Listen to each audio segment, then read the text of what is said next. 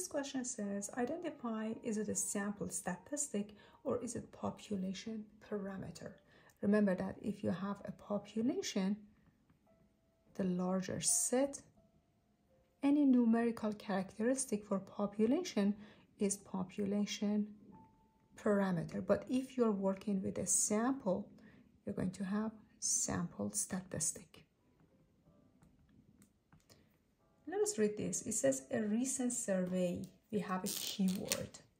So since we have a survey, it means that you are working with a sample.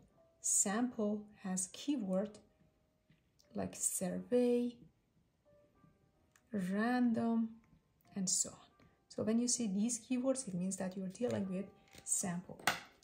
A recent survey indicates that the average salary of 3,000 of its 100,000 graduate was uh, $100,000. So it means that this $100,000 salary is sample statistic.